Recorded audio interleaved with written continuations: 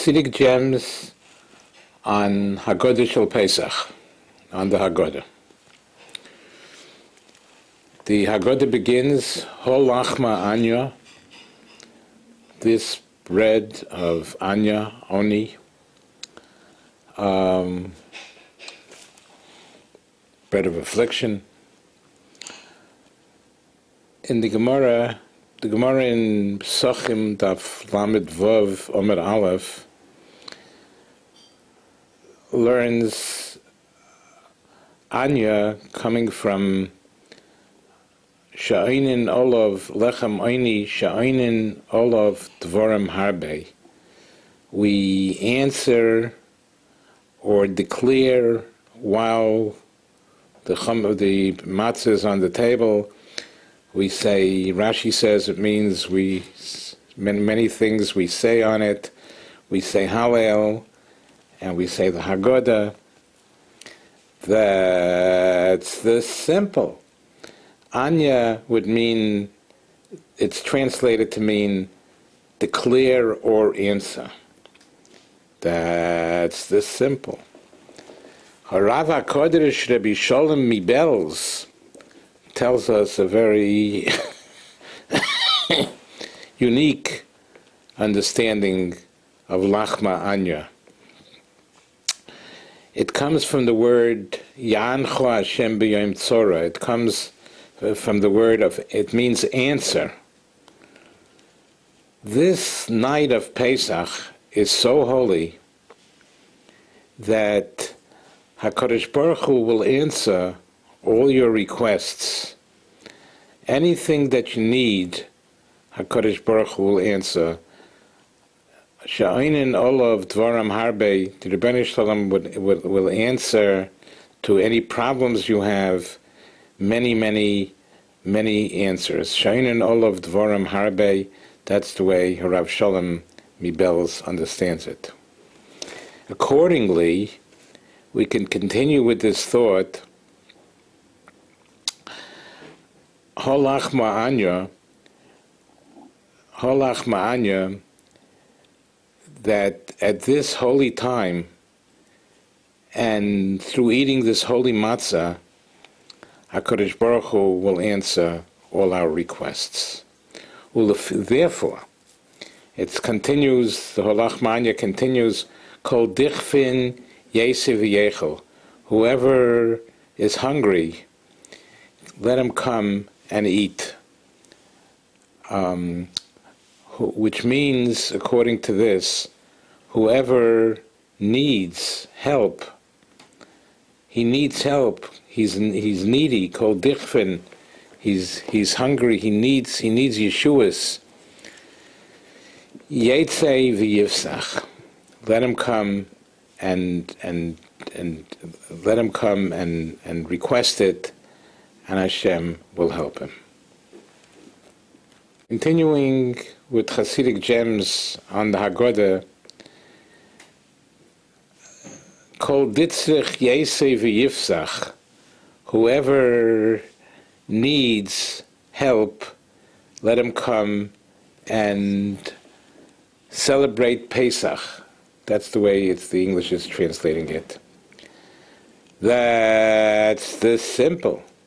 Again, Horava Kodesh Rabbi Sholem Mibelz will interpret it to mean that Kol Ditzrech Yesef Yivsach, the word Pesach, according to the Targum, and Rashi brings it down in Shmois, means uh, where it says in the pasuk "Posachti Aleichem," which we all understand to mean Hashem will skip over our houses when the doorpost is with blood um, Hashem will skip over the houses and save the Jewish people. That's the, that's the simple. The Targum translates it to mean uposachti means v'chomalti. I will have rachmanis. I will have rachmanis. If so, then the meaning of kol ditzrich yesev yifsach will mean whoever needs rachme rachme shemayim, let him come and make the Seder, the Yifsach, he will arouse, upon himself Rachme Shemayim, that, that heaven should have mercy on him. Kol Ditzrich, whoever is in need of a Yeshua, Yesef Yifsach, let him come, and Yifsach would mean Rachmanis, V'chamalti, like Rashi brings down from the Targum, and, and whoever needs mercy from heaven, Hashem will, will, will, will grant him his, his desires and his wishes. Continuing with Hasidic gems on Agodah Shel Pesach, in the same line of thought as Rav Kodesh, Reb Shalom Belz, we have another uh, interpretation. We have an interpretation from Horava Kodesh Rabbi Osher Mistolin that in all the Haggadis before Manishtana it says V'chan haben shoel. Here the son asks Manishtana. That's the simple. Rabbi Kodesh Mistolin interprets it to mean Khan, right here, right before Manishtana. Haben Shoel. This is an Ace Rotzain. It's a special holy time of the year.